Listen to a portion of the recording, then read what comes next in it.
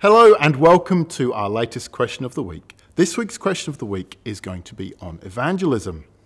My name's Richard um, and I'm uh, one of the pastoral interns here at Grace Bible Church Holland Park, and I'm joined by my two fellow uh, Grace Bible Churchians. On my right, I have Cobus. Yes, yes, I, I'm Cobus and been at Grace for about oh, five years now, and we've done a few of these videos, so I think people would probably know who we are by now. Mm. And on my left, G'day everybody. Um, I'm Andrew. Uh, for those who don't know me, I'm also an intern at the church and been at the church for going on three years, um, but have uh, been a member and an intern for about a year and a half to two. Cool, great.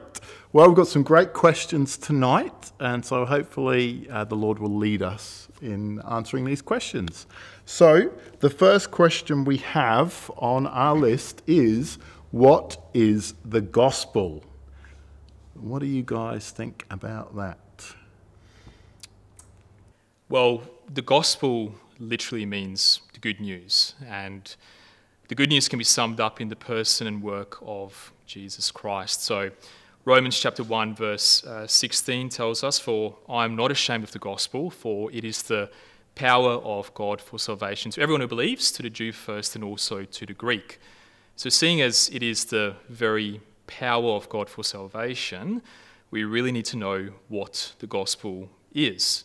And whenever we start talking about the gospel, we need to start with how the Bible talks about who God is and who man is, who, who we are. So the Bible describes God as good, uh, as righteous, as holy. He's our creator, and He's the, the sovereign Lord of all the universe. Uh, but instead of honoring and worshipping Him as our creator, we have all sinned and we have fallen short of the glory of God.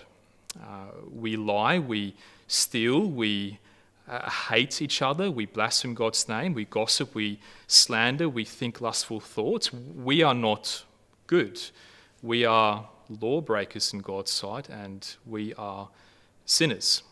So the whole Bible and the whole Christian message comes down to this question How can a holy God forgive and pardon guilty sinners like us? Right? So if he simply forgives us, then sin goes unpunished, and therefore he's no longer just. Whereas if he gives us pure justice, then every one of us stands condemned and will be sent to hell for the eternal punishment uh, for our sins. So, what's the good news? With that black backdrop, what is the good news of the gospel? Uh, the famous verse John 3:16 for God so loved the world that he gave his only son that whoever believes in him shall not perish but have eternal life. So God the Father out of his rich mercy and love sent forth Jesus Christ, the second member of the Trinity, to take on flesh, uh, being born of a virgin.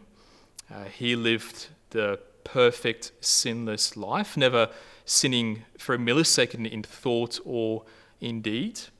And then he laid down his life by dying on a cross. Now, Jesus didn't die on a cross as an example. Uh, he didn't die as a, a martyr. Uh, Jesus died as a substitute. So, on the cross, all the sins of all the people who would ever believe in him throughout all of human history were laid upon him. The Father then looked down towards Christ and he treated him as if he had been guilty of all those sins. And he poured out his wrath upon him as a substitute. He, he crushed him for our iniquities. So Christ died, he was buried, and three days later he, he rose from the dead and he conquered death, he proving he is very God himself and validating his redemptive um, sacrifice. So the call of the gospel is for all men and women everywhere to repent of their sins and believe the gospel. So to repent effectively means to recognize your sinful state before God and to turn, turn 180 degrees with all your soul, heart, mind, emotions against that sin you once loved towards God. And then to believe the gospel is, is, is trust. Uh, it is to trust that the only reason why I'm saved is because of what Christ did in my place 2,000 years ago. So that's, that's, that's the essence of the gospel and the good news of Christianity. Hmm. Oh, that's good. Is there anything you wanted to add to that, Andrew? Yeah, um, I think that well summarizes it. I think some of the points uh, that uh, can get a little bit hairy is on this idea of repentance and faith and what it means to repent and believe. And so often today, when we hear that word, when we hear that word repent, we think, oh, that means I need to change my life and I need to stop sinning. and there's a mm. sense to which we can't ever really stop sinning in this life. Um, repentance has this idea that there's a change of mind, this recognition that the way that I'm going is the wrong way, and I need to give up this way to which I say that I'm the God of my life, I make the decisions, I make the rules, and to mm. recognize I can't actually save myself from what I deserve. And then that belief part is, is that I recognize that everything about Jesus, everything about who he is and what he's done for me can save me, and that there's nothing that I can do for myself. So that would mean that if you think that 99% of Jesus is saving you and uh, 1% of what you do saves you, you haven't actually repented. You haven't actually given up your ways. You haven't actually stopped believing that you can save yourself. Only once you decide that there's nothing that I can do but only the personal work of Jesus, and you trust or you rely upon what He did for you, that you can receive that salvation and forgiveness of sins. Hmm. Oh, that's great. Um, one of the things I love about the gospel is that from our very first parents, um, the, our, our relationship with God was broken, and yet He made a way for us to be reconciled to Him.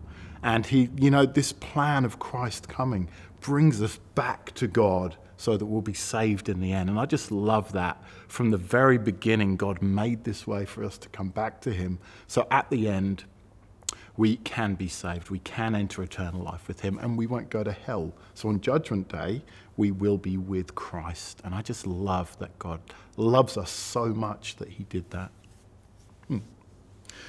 Great. Um, so the next question we have uh, was What does the Bible say about sharing the gospel? Yeah, Hmm. I'll give it a crack. At All right. I'll give it a crack at it. Um, so the first thing is is just going back to that idea of the gospel.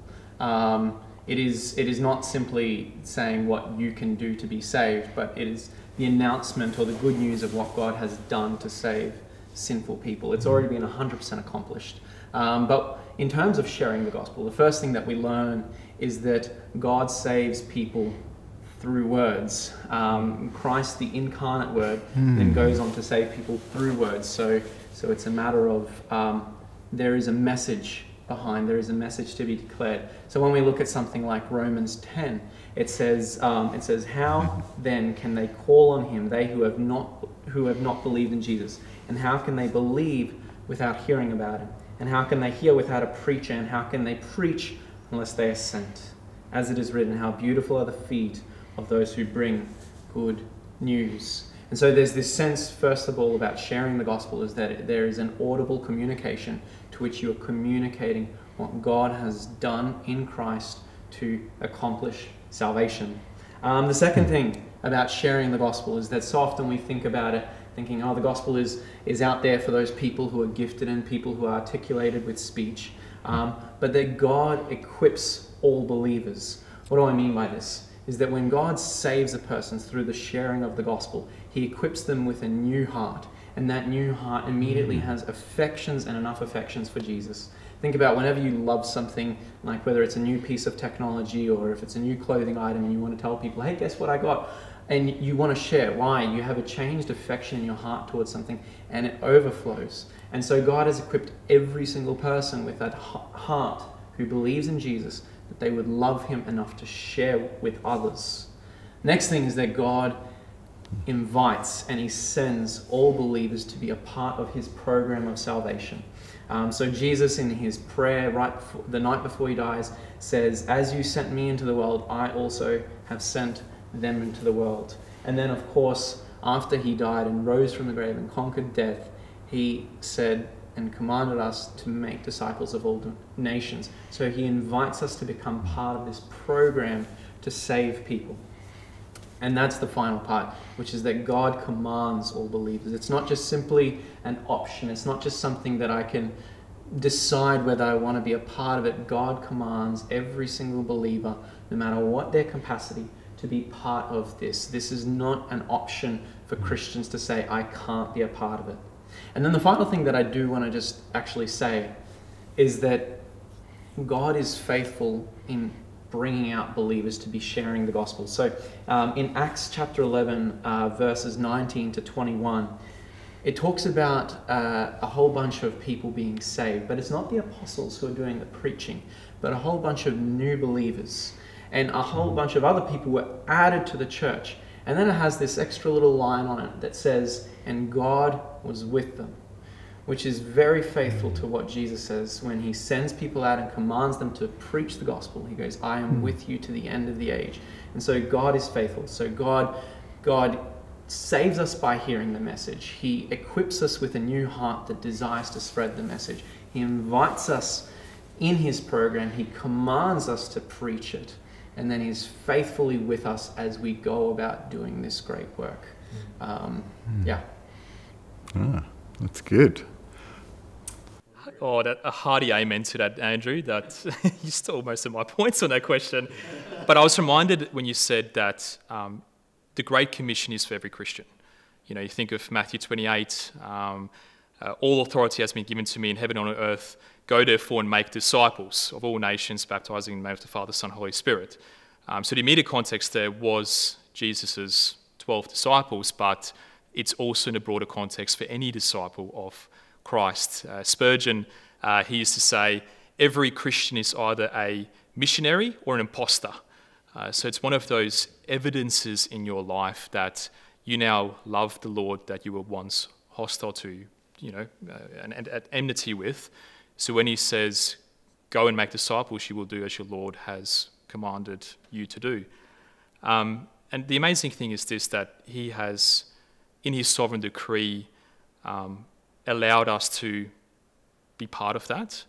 Um, he will gather his bride uh, from every tribe, tongue, and nation, and he will use it through the preaching of the gospel. So we can be used as broken and weak vessels, and it's the message, it's, as Andrew said, it's the proclamation of the good news. Uh, well, it says his word will not return to him void. That's it, Isaiah 55. Yeah, it'll do what he, he wants to, to accomplish. Exactly, and that's, that's that's that's a good point. You know, it's, it's almost like I think of Matthew 13 and the parable of the, the sower. We just have to be faithful in going to scatter the seed, right?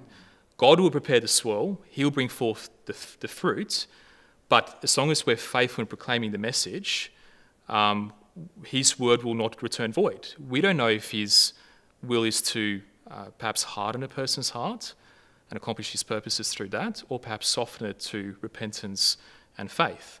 But that should give us utmost confidence that 10 out of 10 gospel conversations are a success if we faithfully proclaim uh, the good news of Christ. That's right. And, and I mean, it's his work. It's not, if, if they don't become a Christian, it's not down to us. It's all God. God accomplishes what He desires. And, and He said to us, The fields are white for harvest. So He is growing this seed that's being spread, but He wants us to go out into the field and be a part of that harvest. So, oh, some great words, guys. Um, so the third question uh, on the list is why should I share the gospel? Hmm. What do you reckon? Oh, okay. I'll, I'll have a go with that one. Okay. Um, so, firstly, I've got a couple of reasons that I thought about. Um, I think the first one is the main reason. The main reason is that um, Jesus tells us to do it. Now, He is our Lord. Uh, when we became Christians, we said, We want what you want. We love what you love. We want to serve you because you are our King. and our Lord. And so when Jesus says, Go and make disciples of all nations, um, we've committed to that by being his disciples, by being his people. So, um, so that's really the, the absolute reason. But I've got a few other reasons as well. Um, there are people out there who are not saved. And we should desire for them to be saved. And we should want to share the gospel so that those people can be saved from hell and be saved to have a relationship with God. Having a relationship with God is an amazing thing. Um, and we should want people to join us in that because it's a really great thing, actually. And being saved from hell is a really great thing, too. Uh, the two parts of this, you know, getting to know God and not actually having to pay for your sins in hell. Like those two things alone should drive us to be out there and try and help people know Jesus and to be saved. Um, the third thing I have is um, Jesus says that we need to love other people. And by getting out there and telling them the good news, um, we are doing the greatest thing to love other people. And so that should drive us. Our love for these people out here should cause us to go and share the gospel because it's the most loving thing we could do. Uh, and fourthly, uh, my last reason here is um, by getting out there with the gospel, we actually uh, grow closer to God because we're, um, as we tell people about G- the gospel, we tell people about Jesus, we, we remember every time we talk about what Jesus did, what he has done and what he's done for us. And so we think about that more, we grow closer to God. Um, we, we get the joy of actually being with God on his mission. So we're kind of driving forward and we're growing in that way. We're growing closer to God. Uh, when we go out with the gospel, we know it's not our work and we know that we need God's help. So prayer actually drives us closer to God. So we pray for God to work, we pray for God to lead us, which means that we get closer to God. Um, and lastly, um, we grow deeper in our knowledge of God's word as well. Uh, when people ask us questions and we don't know those answers, what does the Bible say about this? What does the gospel say about that? Actually, it drives us to think about that and read God's word more and explore those answers. So I think those four reasons are for good reasons, but I didn't know if you guys had any other reasons. Um, yeah, I'd say we share the gospel because it's an honor to serve our King. And like you rightly pointed out, this is the message that saved us, the three of us so why would I want to withhold that from a lost and condemned world? So God will accomplish his purposes. The question is more so, will I participate? You know, you want to be that Christian saying, Here I am, Lord, send me. Not, I'm sure there's other people out there, you know, who, who would do it. Uh, Spurgeon, once again, he said, Have you no desire for others to be saved?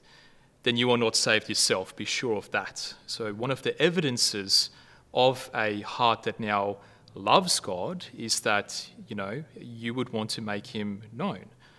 Um, and I, yeah, I also just want to just touch upon um, we need to think about the, the state of mankind in the face of their Creator. Um, you know, if we truly believe God's word, we know that outside of Christ, every single person stands condemned. Um, Romans chapter 1, verse 18 says, For the wrath of God is revealed against all ungodliness and unrighteousness of men who, by their unrighteousness, suppress the truth. For what can be known about God is evident to them because God has shown it to them. So, God's general revelation uh, through creation and through our conscience uh, is only enough to condemn us. So, everybody knows God, but because of our sin, we reject Him and we become futile in our thinking and our foolish hearts become darkened. So, apart from Christ, man is destined to, you know, die forever um, in hell. Um, George, George Whitefield, um, who was one of the greatest evangelists to ever live, he used to speak with, you know, sorrow and tears in his eyes, talking about the livid coal, the, the torment of burning like a livid coal uh, not for an instant or for a day, but for millions and millions of ages, at the, when, at the end of which souls realized that they were no closer to the end than when they had first begun, and that they will never ever be delivered from that place. So, like Andrew said in that first question tonight, you know, men need to hear the special revelation, which is the gospel. Um, so, you know, they need to understand that they need to make peace with God through what Christ has done. And the good news is that Christ came to save sinners just like us. Mm. I'll just add to that. Um, oh, actually, to what Richard was saying earlier, uh, is that when we share the gospel, or part of what is the Christian life, or what defines the Christian life, is that God has predestined to make us conform to the image of his son. So God, once he saves us, wants to make us look like Jesus. He wants to make us look like his son. Hmm. And part of that sanctification process, you, you look at some of the spiritual disciplines, you look at Okay, you start going to church and falling in love with God. You start reading His Word, so you start meditating and thinking about the thoughts of God a little bit more like Christ, and, and your communication and your words should be better, and the way that you treat people should be better. And so, so much of what He's doing in us is making us look more like Jesus. And one of the essential parts of Jesus is that He was the great evangelist. Jesus was the person who preached the gospel. Jesus was the person who brought sinners to Himself and invited them to respond to the good news of his coming. Um, and so, for every Christian who desires to be like Jesus, which is every Christian, uh, we should be a part of the preaching of the gospel. It is a part of our sanctifying, uh, being sanctified and made look like, made to look more like Jesus. Mm. Yep. That's interesting. Hmm. Um, yeah, I was just thinking, what should we be thinking if we're not um, becoming more like Jesus in that way? Like, what, what do we think about that? In terms of evangelism specifically? Yeah. How, what, how should we think about that if we're not being made more like Jesus in that way? Yeah, I think uh, I think we need to make sober assessments of ourselves, and so if we're not, to recognize that why am I not? In the same way, in the same way about mm. everything. Like for example, if I if I don't find myself praying enough, and yet I see praying going through the Bible, and I don't see the need for prayer, then there's something that might be defective in my theology that gets me to stop beating the same way God's heart own beats, because Jesus was a man of prayer. If I'm not loving my brothers and sisters in Christ because I don't see a great need for that and I'm not moved towards that or I'm not compelled towards that. There's something that might be defective in the way I think about God, in my theology, that doesn't actually have me loving my brothers and sisters in Christ more. And so, in the same way, if I don't feel the need to evangelize, if I don't feel the need to see the lost come to a knowledge of God, then there might be something that is a little bit defective in my theology or way of thinking that is not compelling me to do that. And so, I need to do a sober assessment on myself and the way that I see the Bible and the way that Christ's heart beats for the lost and to, to respond in that way. Um, yeah, and I'd say if you come to that realization, you know, as part of, that, of our Christian life is a life of repentance. You know, it's, it's, a, it's a habit of the Christian life that we now hate the sin we once loved and love the, the Lord we once hated.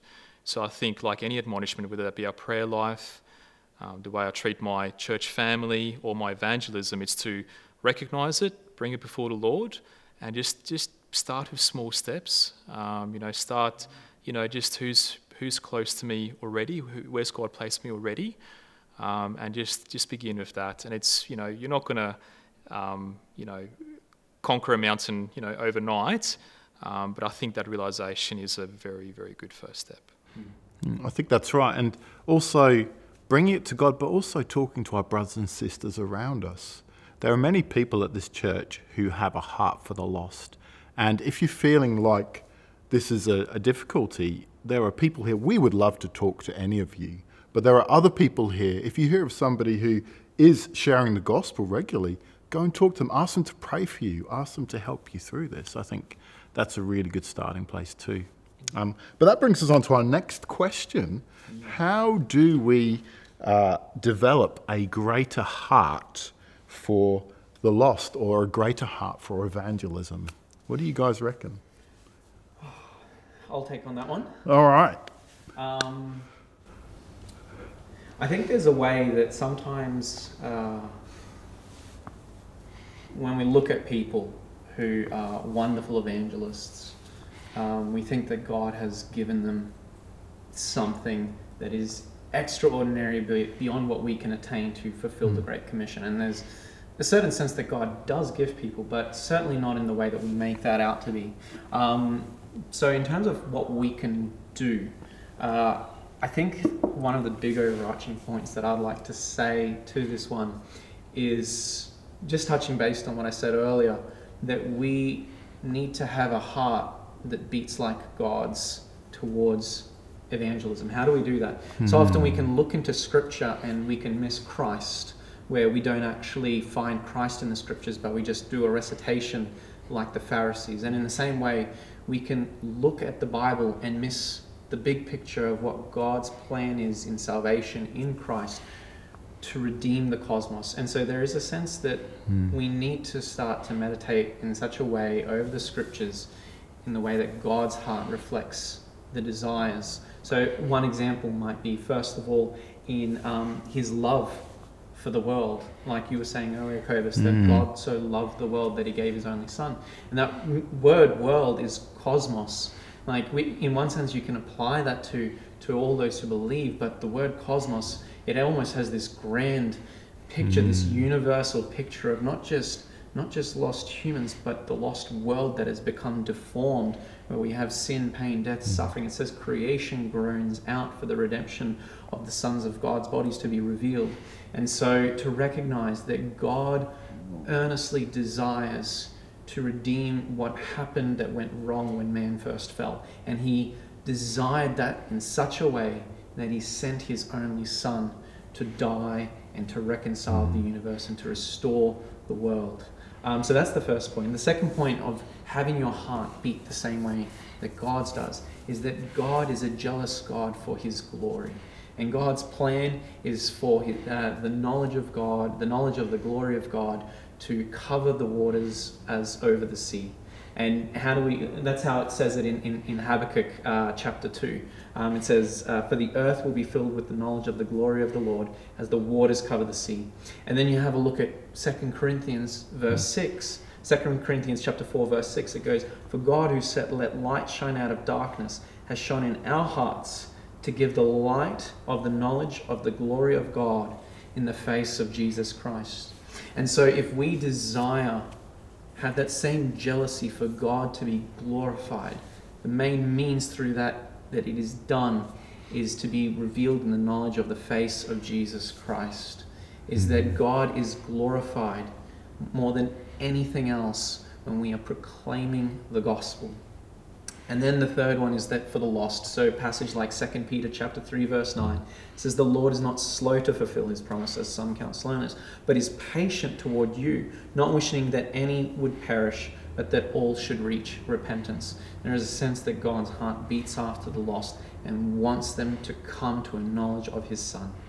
And then finally is that if our heart beats the same way God's does, is that we should desire to see the rule and reign of Christ in that prophetic climax that we see in Philippians chapter 2, where every knee would bow and every tongue would confess that Jesus is Lord. Our greatest heart's desire should be to see the rule and reign of Christ over everything and for everything mm. to recognize his lordship. How do you do that? Through the proclamation of the gospel, that you say Jesus has accomplished salvation for his people. Mm. Um, and so I think that's one way is that we need to have our heart beating the same way God's does for the proclamation of the gospel. Mm. It's interesting. Um, God did love us so much that Jesus came. And then what did Jesus do? He came among us. And often in scriptures it talks about Jesus loving people. And he went to the unlovely and he went with them and he loved them. And he had this heart for those people all around him. He had a heart for us too. But he just went and loved them and he looked around him and he saw them and he saved them. And, and sometimes I think about um, when I'm out there, you know, maybe in the supermarket or a shopping centre or out in the street, and I look around me and I think, most of these people probably don't know who Jesus is. And most of these people are going to hell. And I think, I should pray for this person. I should speak to this person. I should try and find a way to get alongside them because I know that they're probably going to go to hell. And so that works on my heart. I think, you know, I, I want them to be saved. There are so many lost people out there. And with the coronavirus pandemic, like death is much more at the forefront. These people, there are more people, you know, going to hell now than ever. Um, most, lots of people dying out there. Um, another way that I think that it helps me to uh, gain more of a heart for the lost as well is hearing how people ca- became Christians. Um, I love to hear a good testimony. I love to hear how they came to know Christ. And it makes me think actually, that person that's playing sport, I heard a testimony about a person that played sport and how they came to know Christ through their sport, and it makes me think that person could be saved as well. And it inspires me to think about them and go out there and share with them all the more. Um, lastly, I've mentioned it before already, I like to think about what Jesus has done for us and what he can do for those people too. He can actually save them. Um, I, want to see them saved. Yeah, absolutely. And just to jump on some of the points you've already made, I'd say the first one, how do I develop a greater heart for the lost, is to immerse yourself in Scripture. You know, grow in your knowledge of God, of His holiness, and the judgment that awaits um, sinners. Uh, you know, uh, a type of shallow theology leads to shallow evangelism. You know, theology matters, uh, we need to embrace that all authority has been given to God, and we also need to embrace that mankind does stand hopeless without Christ. So I'd say once we, you know, start meditating upon the glory of God, everything else will flow out of that, one of which is our evangelism. And then just to, you know, hop on the back of one of the points you made, just about the brevity of life, especially in a, you know, environment like we live today it's just to realize, you know, what James 4:14 says: life is but a mist. Um, you know, 10 out of 10 people die, and uh, around 150,000 people die every single day. I'm always uh, just encouraged when I read guys like, you know, Edwards, Jonathan Edwards, where he said, "Lord, stamp eternity on my eyeballs." And you know, George Whitefield, who was actually a contemporary of Jonathan Edwards, said, God forbid that I should travel as much as a quarter of an hour with the person without telling them about Christ. You know, they saw death all around them and they knew that there's a sense of urgency needed for our evangelism. And then I'd say it's often not it's often not the opportunities that we lack, but I know for, for myself and my own heart, it's often the courage I lack to actually, you know, speak forth uh, the gospel. Um, not, not to say it's not necessarily easy sharing our, our faith always, but we need to ask ourselves what's driving my uh, lack of desire to evangelize? And I would say that if we're honest with ourselves and we're to dig down deep enough into our own hearts, at that moment I'm in some way or shape more concerned about my own welfare than of theirs. Uh, you know, of being you know, rejected or of looking uh, weird uh, in front of my, my peers. Um, but we need to be reminded that we're not here to live just for ourselves. We've been bought with a price, and you know it is an honor to serve our King.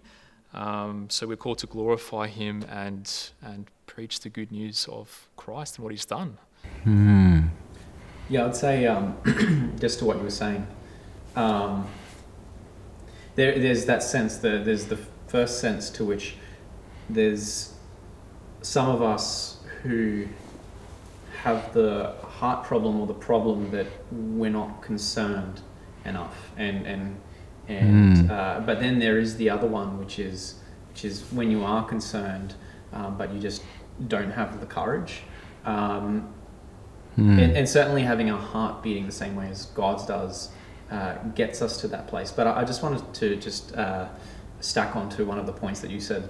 Um, I remember when I uh, part of part of my past life in academics, I was in Switzerland, and I found myself so consumed uh, with with my work and everything like that. I barely gave myself any moment, And then I remember um, after four and a half months, I had to leave on the weekend, and I decided to make a trip to Italy, and it was it was a it was a good old time. But as I came back, yeah, it was a good old time.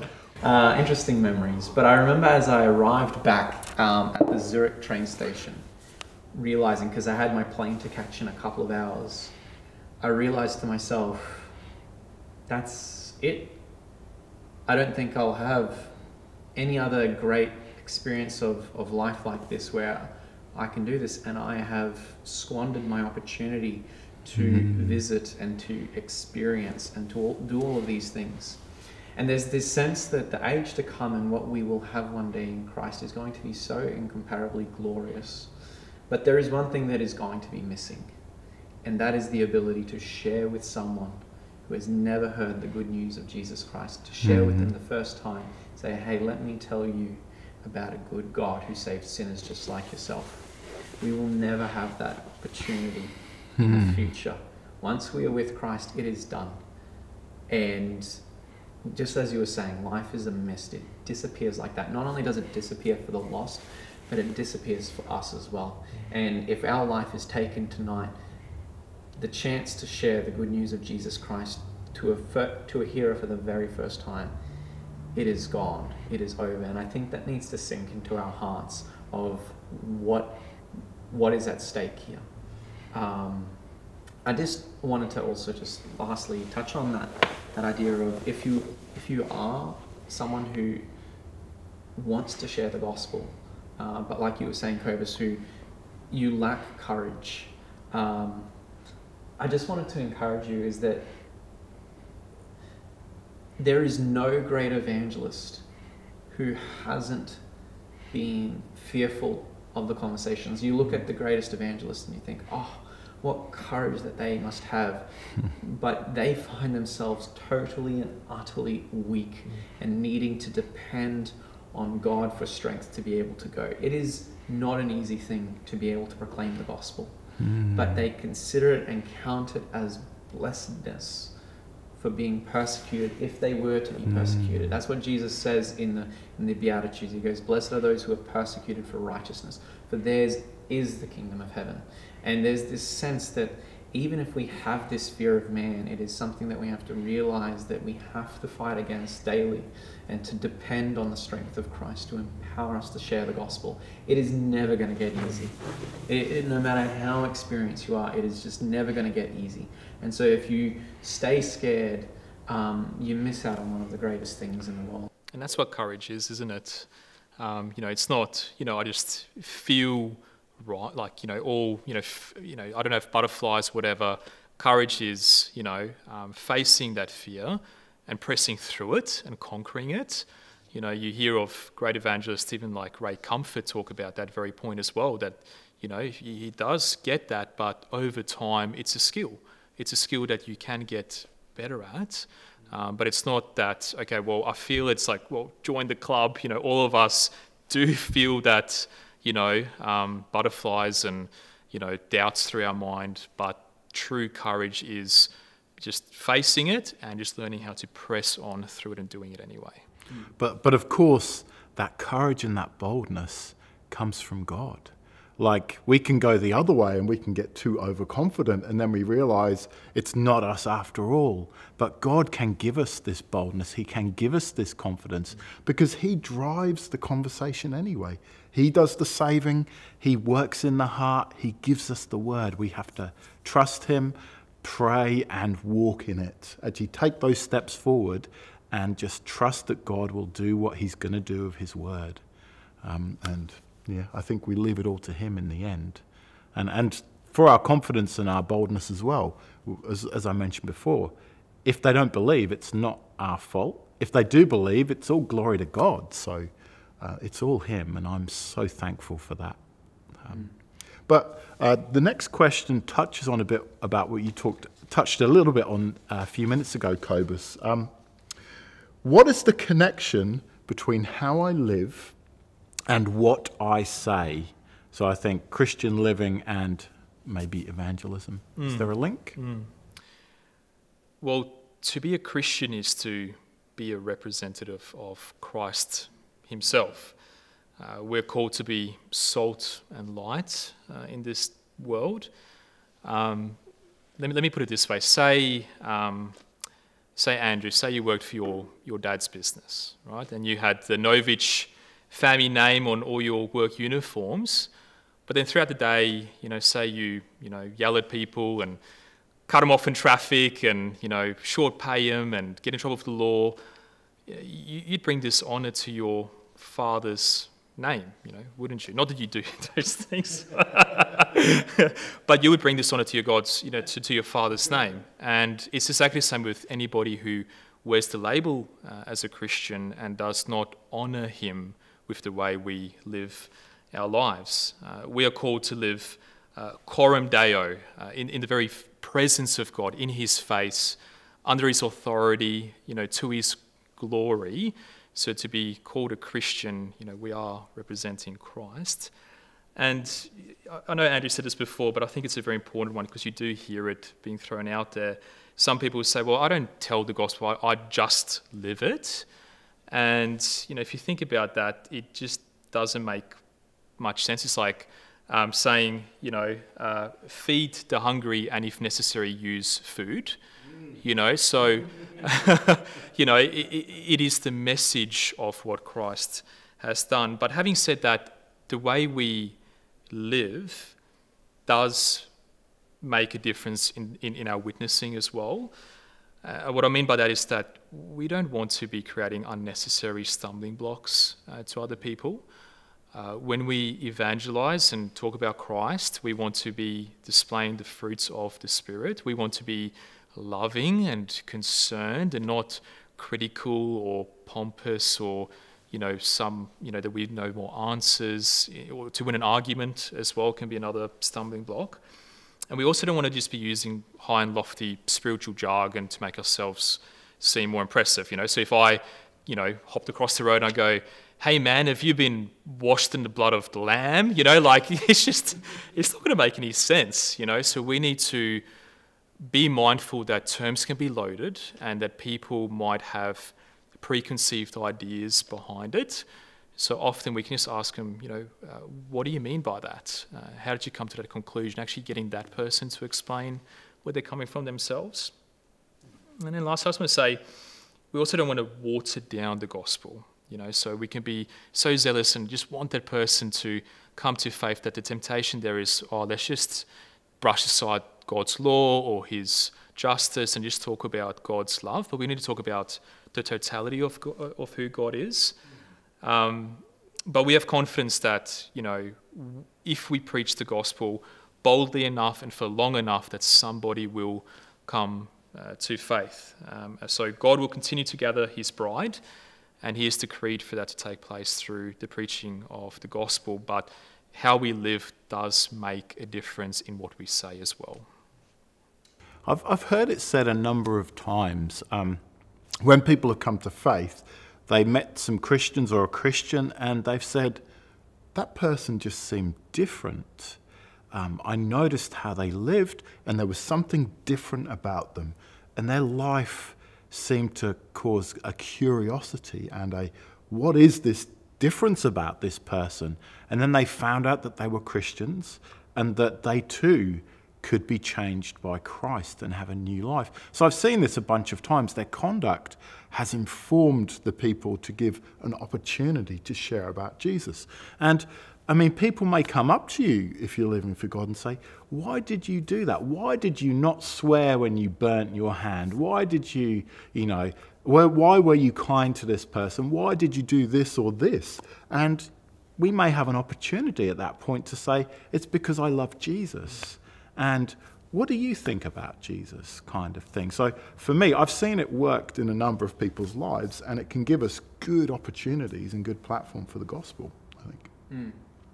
Yeah, I'd just add on um, to what you guys were saying is that um, maybe maybe to use this as a marker of Christian living and and and actually witnessing the gospel is that put yourself in any kind of situation um, say you're at the supermarket.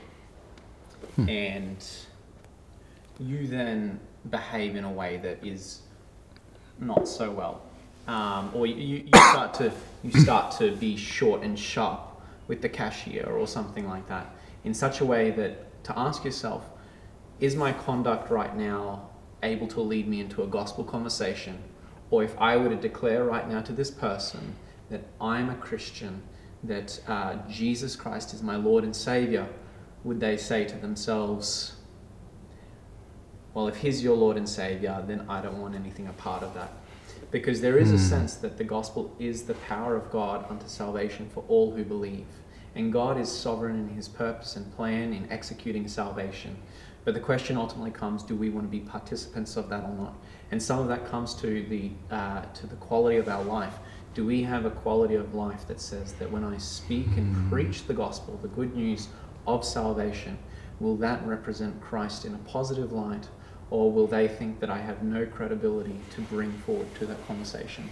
I think of something like when in John 1 it says that Jesus came full of grace and truth. And there is, there is, of course, the grace that he dispenses, the saving grace, but there's also the disposition that he comes in. And he came in grace and truth. So he was able to talk to a Samaritan woman who was caught in multiple marriages, including adultery, and he was able to be totally truthful to her, but in such a measure of grace that she could still feel loved and that she could be receptive to the gospel, that she was saved. And so there is that sense that we cannot um, understate the importance of our behavior. People are watching, and the moment that we declare that Jesus Christ is Lord of our life, they will be looking to find problems and faults with us. And as you were saying, Cobus, we are ambassadors of Christ. We, we have to be proper ambassadors of Him. See, I've heard it the, the, uh, that way as well. I've heard people say, because of how certain Christians behaved, I didn't want any part of Christ.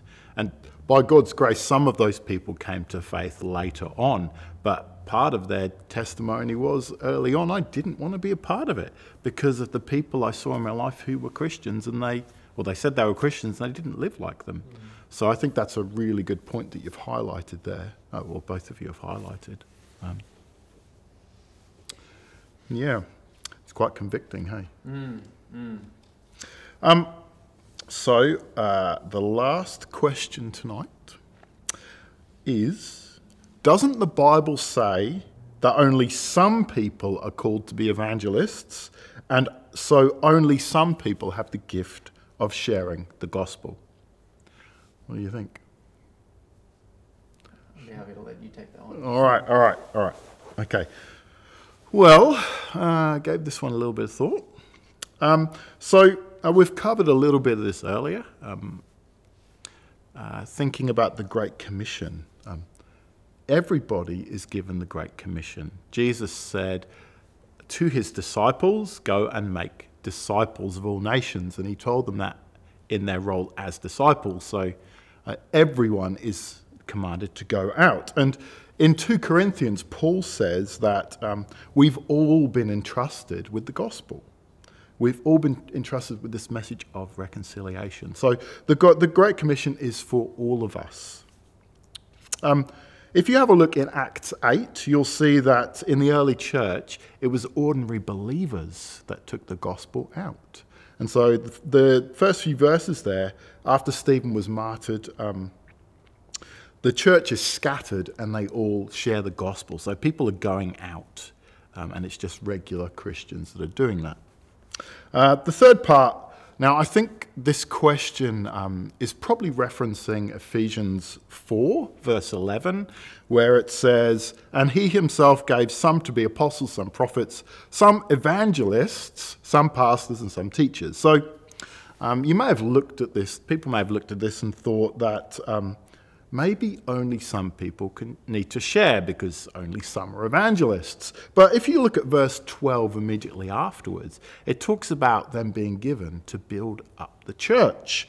Uh, it says, to equip the saints for the work of ministry to build up the body of Christ. So, an evangelist in this sense is given to the church by God to grow the church in evangelism. So, an evangelist is a teacher to the church to teach them how to evangelize better.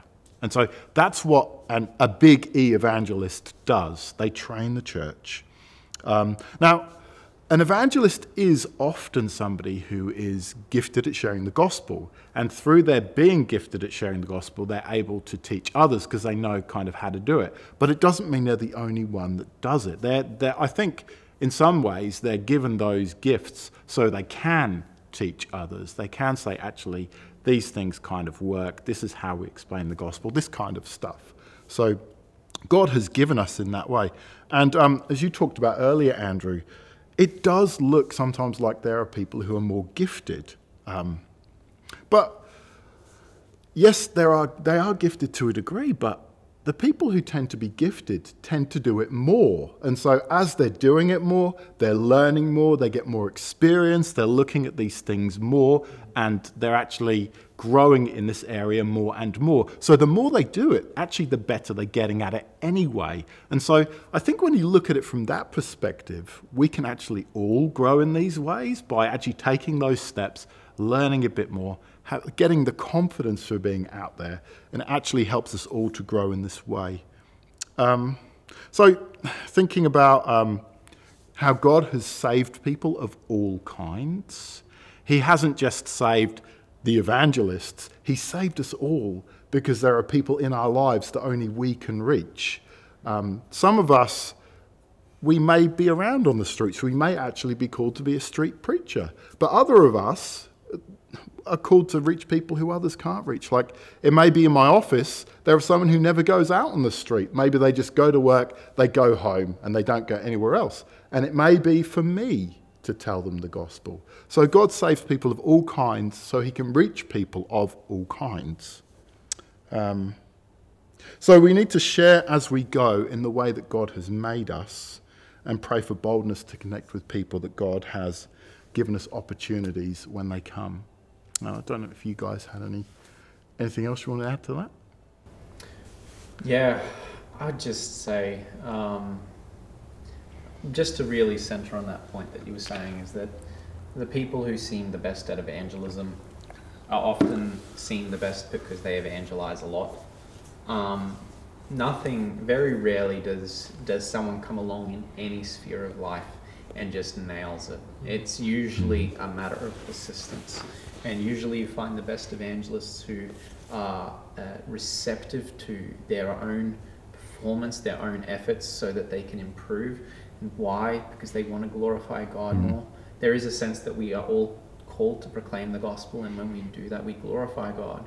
But if uh, then there's this other sense that we want to improve because we want people to come to a clearer knowledge, and so we we res- we we think about what we're doing, we think about what we're saying, and and you preach the gospel and you reflect on what went wrong and what didn't go wrong or what went right and then respond so that when someone else who's new comes along and hears it they think oh this person is just so incredibly gifted mm. um, so my encouragement would be is that if you if you haven't yet evangelized my first major encouragement is know how to explain the gospel, know what the bare basics mm. of what the gospel is. And Cobus laid it out is that we are deserving of hell, and God has often asked, offered us forgiveness in His Son if we would give up our ways and trust in Him. So, know the basics of the gospel.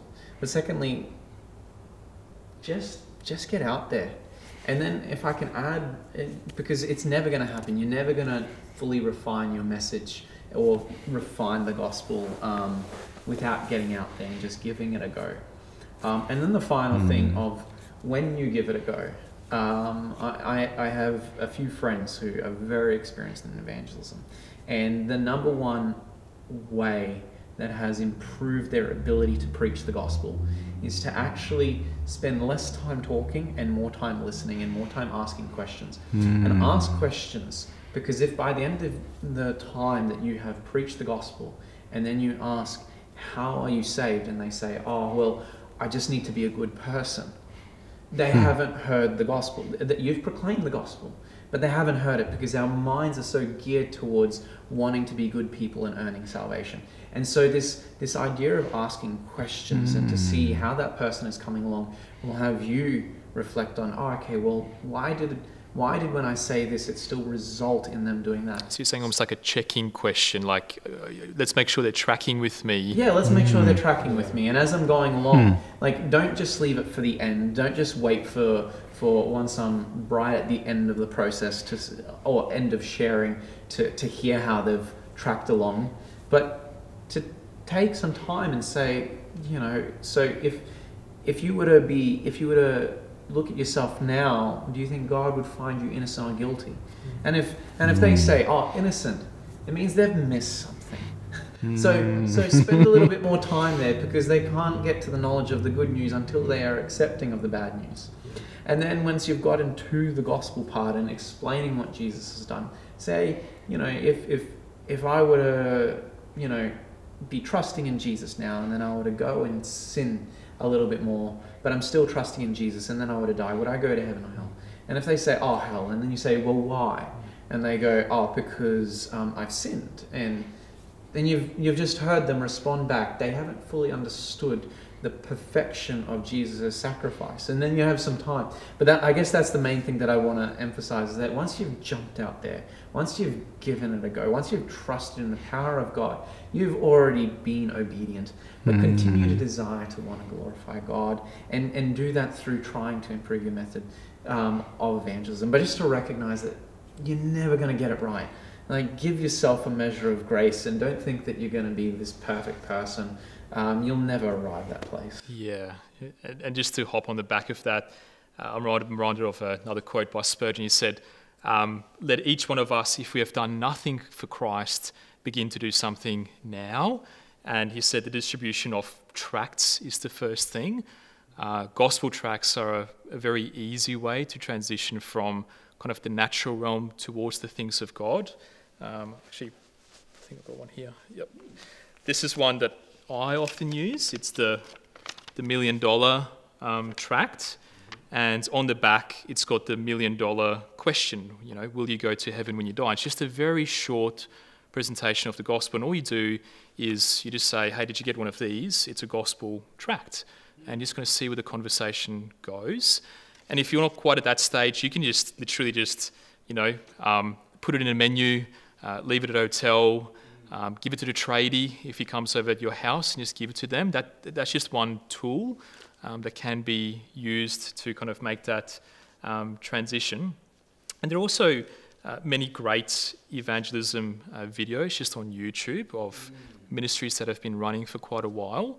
Uh, two that um, have been instrumental towards me, and I know many other um, Christians are Ray Comfort's ministry, The Way of the Master, um, and also Todd Friel's Wretched Radio, Wretched TV, and they, they film themselves um, going out and evangelizing on the street. And I find the more I kind of watch them, you know, more it encourages me, but you also kind of learn how to kind of give the different apologetics to objections that are raised.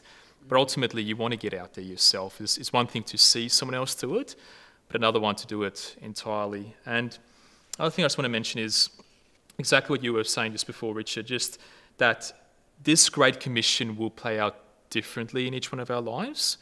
Um, evangelism will most naturally play out in our local communities. Uh, for some of us, that will primarily take place through, um, say, work among our work colleagues. Uh, for others of us, it could be primarily through, you know, pastorship uh, and preaching God's counsel week in and week out um, to the saints. Uh, for some of us, it's primarily through the raising of children and teaching them, you know, the ways of the Lord uh, at home. But for others, you know, it might very well be world missions to to go to the jungles of Indonesia, to, to go to the tribes of um, South America. I was actually um, I was looking at some world missions statistics recently, and I was looking at countries like Yemen and Somalia. You know, heavy, heavy Islamic influence. Uh, Yemen has a population of about 30 million, so bigger than Australia, and they estimate that out of the whole population, that there are only 1,000 Christians. And then, you know, Somalia likewise, you know, 16 million population, estimated 100 Christians. So, you know, say every single Christian um, in the whole entire world went out and shared their faith with every single non Christian they know, and let's say miraculously every single one of those people came to saving faith, there would still be 2 billion people not saved. Because unreached does not mean unsaved. Unreached means that you will most likely be born, live, and die without even, even just hearing about Christ. So I think for us, that should give us zeal and um, just, you know, such gladness that we have received it, but that there is hope at hand through the preaching of the good news of what Christ has done. And those, um, just to jump on your comment about Yemen and Somalia, um, Iran would have been counted amongst those countries 30, 40 years ago. And I think in the 70s there was like 100 Christians there. And since then, what, 40 years? Um, 50 years? There's now like um, over a million Christians there. So, from virtually nothing, these people have been inspired to seek God. People have gone to them, shared the gospel, and they've shared the gospel, and they've shared the gospel, and now there are a lot more Christians there, and the gospel is going forth. So, even in countries like Yemen and Somalia, God can do his work. Countries like China, we've seen it as well. Like, uh, you know, um, these countries where people have gone there and the gospel has grown and grown and grown. So we could see that in this country too. We could see more and more people saved. We could see it anywhere mm. if people take the gospel, they pray, they ask God to, to bless the words, to take His words through them. And we could see many, many more people around us or across the world becoming Christians if we actually mm. obey the Great Commission. Yeah, and the thing is, you know, either you're the one going down into the well, you know, you're the one going overseas or you're the one holding the rope.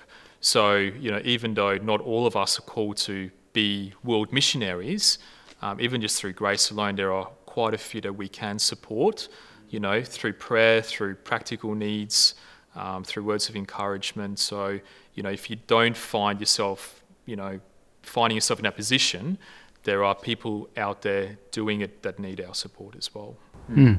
I just wanted to add um, to to this um, thought that there's so many people who are unreached. Um, so often we think about like when we hear that we think about Muslims and and uh, or people in these in these far out places. But there are so many people who even claim to be Christians who mm. are hmm. unreached.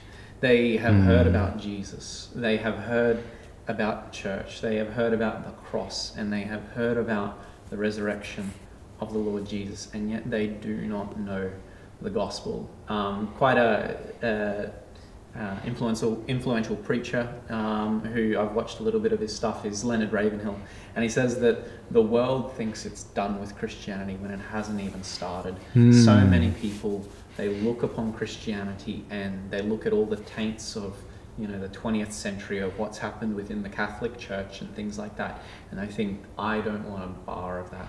And yet they have not even begun to hear the mm. news of what God has done in His Son. And so there is that sense that that there are so many people in your life, in your immediate life, who who are unreached people groups. Um, and God in Acts 17, in Paul's great speech, he says he has appointed times and places mm. that people may seek God. And that means that he has placed you in someone's life that you might be the minister of the gospel in their life. Um, it is not by chance that that has happened. Uh, when I was when I was at college, there was a guy there who had moved from Sydney and he spoke to a church planting organisation. and He said to them, I'll go anywhere in Australia where there is a need for churches. Where would you like me to go? And they said, Brisbane is the place with the greatest need in Australia. And so he came and studied at QTC to serve in Brisbane. So actually, Brisbane has a massive need for the gospel. As you say, there are people who live in Brisbane who think they are Christians. But there are people who live in Brisbane who have never heard about Jesus as well. Um, and so we have a lot of people around us here. World Mission is great. If you feel called to be a missionary, you should do it. But there are people around here who are going to hell. And um, you were talking about questions before. One of my favourite questions to ask people is, "Who is Jesus? Who do you think Jesus is?" Because if we actually explore who Jesus is, and we realise he is the Son of God, what do we do with that? What do we do if Jesus' words are true? Okay. Well, did you guys have anything else you wanted to add? No. Okay, well, thank you for joining us tonight. And thank you for joining us online. It's been great to talk about these things. And if you'd like to talk about these things anymore, we would love to talk to you about these things. Um, so please talk to us, and uh, yeah, hopefully be seeing you some more soon.